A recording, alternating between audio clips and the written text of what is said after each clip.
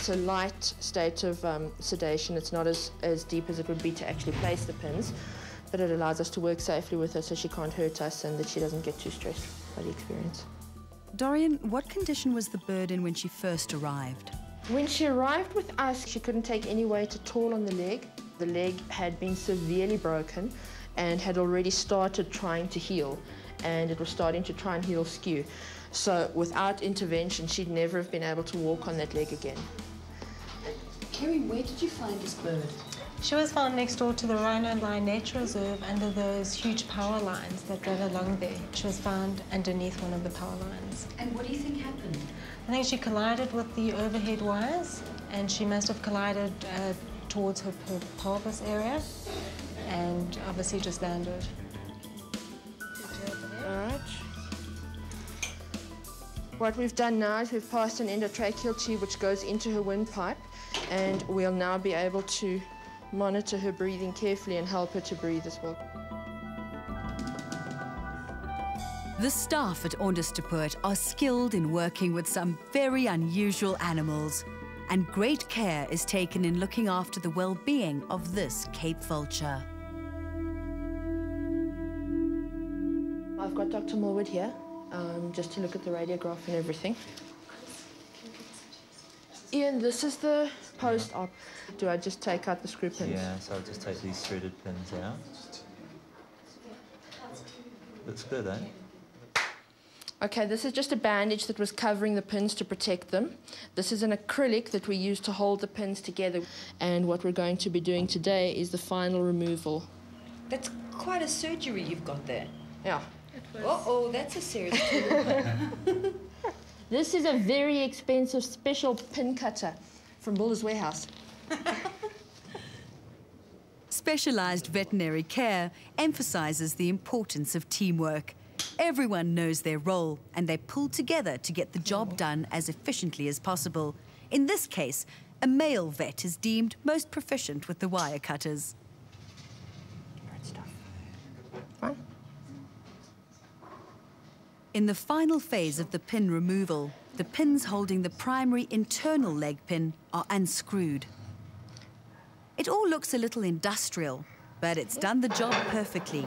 The leg has healed, giving this vulture a second chance. Kerry, this is a great opportunity for us to talk a little bit about vulture anatomy, especially the head. I'm noticing that the eyelid comes from the bottom upward. But it's just a protective membrane, I think. Yeah, they tend to close up from the bottom. From the bottom upward. Gorgeous animals. They are gorgeous, aren't they? And is that the sort of nasal area? Yeah, that's the nostril, But poor, poor sense of smell. but excellent sense of sight.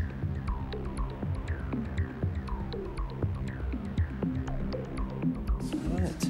Way down. Yep. How's a range of motion? It's beautiful. She's been walking on it. Look at that. Oh, good. So she's actually been getting around well on the limb. Yeah. She even ran away from me trying to catch it. Oh dear. She's going to wake up very soon, so I'm taking this tube out. Now you can have a quick look at her mouth, see the tongue and everything. Mm. Looking deep inside, the grooves and serrations on the vulture's tongue enable rapid feeding on the soft tissue of a carcass. Now that she's come round, the drowsy bird is carefully picked up and carried back to the vehicle, where she can sleep off the anesthesia. Okay, Kerry, so homeward bound. Absolutely. And tomorrow, her release. Good one. Cheers. Cheers.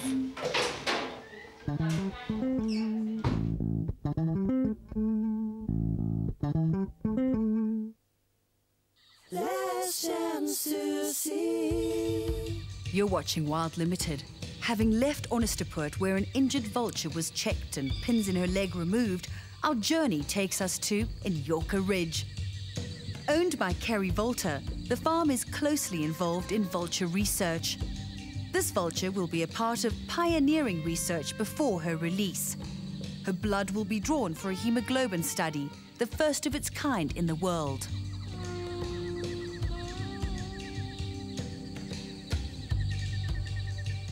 There's not a lot of information about vultures, and they're difficult birds to study. Even something as straightforward as determining the sex is a challenge in Cape vultures.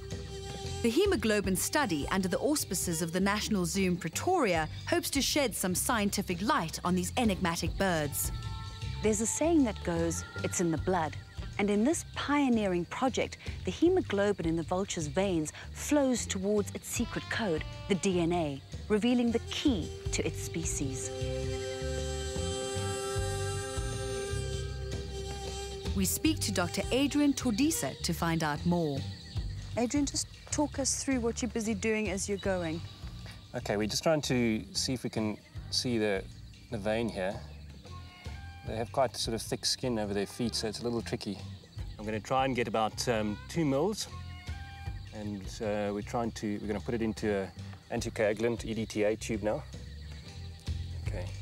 Basically, it already contains a, a substance which prevents the actual blood from clotting. The blood mustn't become clotted, as it cannot then be used for DNA testing.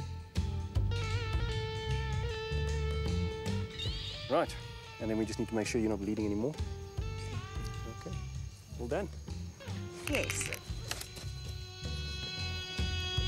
The blood sampling is watched with interest by students, including Putti Mafodi. Putti, you're doing your master's focusing on animal genetics. Why is the bleeding of these vultures important to you? Uh, what I can say is the only way to get hemoglobin from our samples is only if we can have uh, blood from all these animals that we want to involve in our study. And what are you going to do with the blood? Hemoglobin profiling of African wildlife because uh, from uh, genetic studies we can be able to tell the sex of the animal. Given the vulnerable conservation status of Cape vultures, studies are important research tools and can only provide insight and understanding.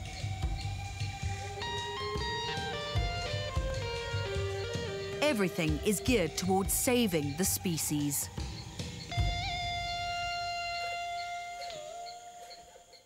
Antoinette, this is the very first time worldwide that hemoglobin is being taken for this specific study. Talk to us about it. Yes, this forms part of basic research where we can now look at species differences using the hemoglobin complex as an identification criterion. So through the hemoglobin, you're able to establish a blood profile per species. Yes. It's correct to say that this project is in its infancy and you're still learning. Yes, yes, this is all baseline information that we are now gathering. And uh, the application still for conservation, we are not sure. That is why we are doing the research. Since the bird is endemic to southern Africa, if our local population of Cape vultures becomes extinct, the entire species is lost. Things are looking positive, however. There are many people who are passionately involved in vulture conservation. Vultures are still faced with daily environmental and habitat challenges, which remain a threat. But thanks to conservation heroes, each bird saved makes a difference.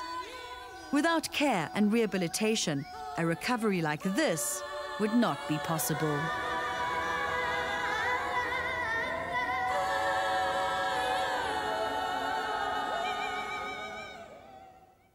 Digital technology provided by Sony South Africa. Production vehicles supplied by Mitsubishi.